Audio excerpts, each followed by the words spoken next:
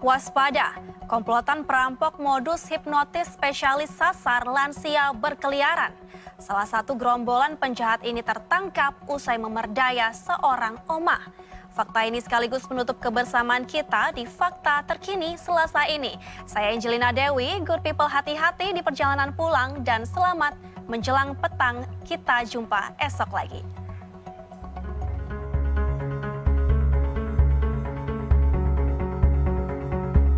Tragis, seorang nenek jadi sasaran perampok, beraksi dengan modus hipnotis di tengah keramaian komplotan hampiri, kemudian intensif mengajak ngobrol, lalu mengelabui dan memberdaya korban.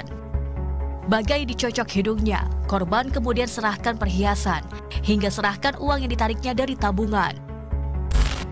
Peristiwa yang terekam CCTV terjadi di Kelapa Gading, Jakarta Utara. Tak lama, komplotan perampok modus hipnotis spesialis sasaran lansia ini diringkus. Para pelaku ditangkap di sebuah apartemen di kawasan Senen, Jakarta Pusat. Telah beraksi di berbagai kota bahkan provinsi.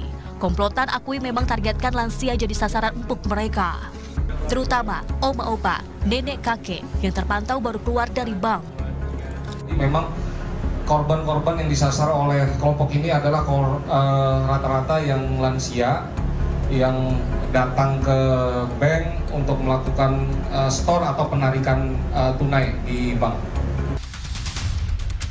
Dalam kejadian di Kelapa Gading, keluarga ungkap memang nenek yang jadi korban baru saja setorkan uang ke bank.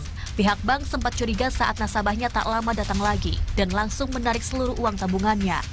Ilham Aprianto melaporkan untuk NET.